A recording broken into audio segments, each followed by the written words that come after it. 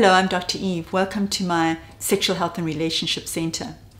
Are you one of those people who are feeling a little bored, but maybe even a little guilty for feeling bored? Asking yourself the question is Is my marriage good enough for me to stay in, or is it too bad and I should really be leaving it? People have this conundrum around expectations of marriage today. We expect that our partner should be a lover, a friend, emotional support, financial support. And oftentimes it becomes too difficult to be holding all of that in one space at the same time. However, you feel as if you gain to stay, even though you you are unhappy, you don't feel stimulated, you're sexually dissatisfied. You feel stable, secure, and you have children.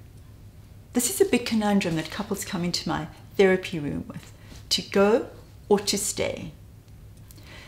The single most important thing that I can advise for you to do to be able to have the kind of marriage that you want is to take individual responsibility for your own happiness. Really check in with yourself. What gives you pleasure? What makes you feel alive in your own world? Following strategies, following some kind of lifestyle that is going to make you independent in your desires so you don't depend that much on your marriage to make you that happy.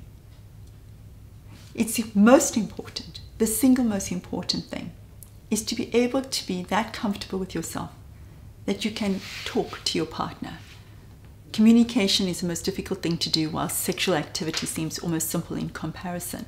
Allowing your partner to see you truly vulnerable, truly open and unguarded, is the way communication should be happening. Taking responsibility for bringing in sexual pleasure.